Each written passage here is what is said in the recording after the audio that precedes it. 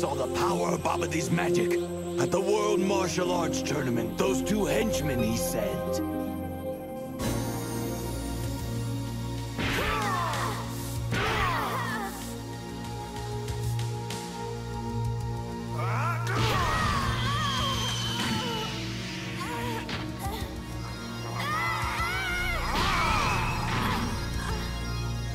When does Spopovich get this strong? It's like he's a different person!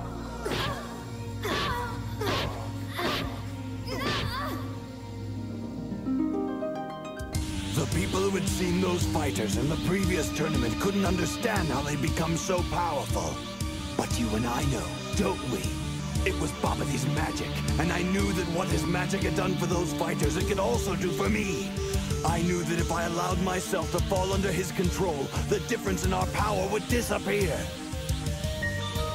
I'm quite pleased with the results, even if they do come at a price. I'd say the end more than justifies the means.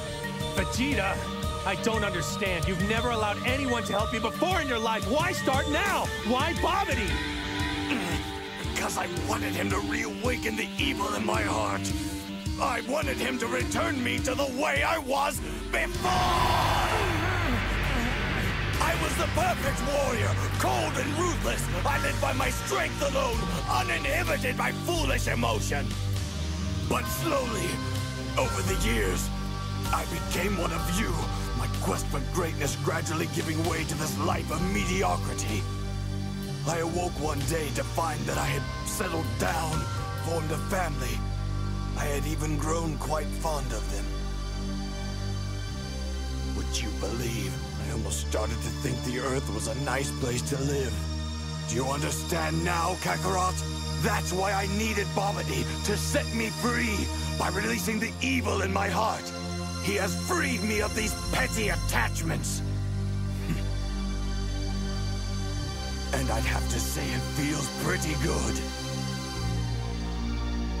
Do you really believe what you're saying?